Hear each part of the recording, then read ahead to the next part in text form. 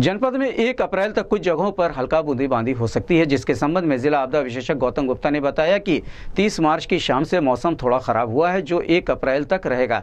इसके अलावा 30 से 40 स्पीड से हवाएँ चलेगी। कुछ जगहों पर मौसम विभाग के अनुसार बारिश भी हो सकती है। इस संबंध में गोरखपुन्नी से बात करते हुए जिला आपदा विशेषज्ञ गौतम गुप्ता ने कहा। देखिए, जो हमें इंडियन मेट्रोलॉजिकल डिपार्टमेंट से जो सूचना प्राप्त हुई थी, उसके अनुसार, जनपद गोरखपुर में अभी खास तौर से पूरे ईस्टर्न यूपी में ये इस तरीके का मौसम बना रहेगा। तकरीबन तीस से चालीस किलोमीटर प्रति घंटे की रफ्तार से हवा भी चलने की संभावना व्यक्त की गई है। कुछ जगहों पे छुटपुट बारिश की भी संभावना व्यक्त की गई है। तो ये मौसम जो है, वो तकरीबन आप ये देखेंगे तो 30 अप्रैल की शाम से मतलब रात से ये प्रारंभ है। और अभी आज इकतीस तारीख और कल एक तारीख तक इस तरह का मौसम बने रहने की संभावना अभी तक जो हमें प्राप्त हुई है, उसके तहत है ये।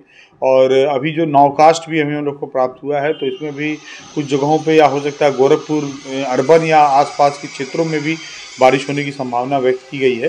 तो ये इस तरीके से मौसम अभी कुछ दिनों तक इस तरह से बने रहने की संभावना है।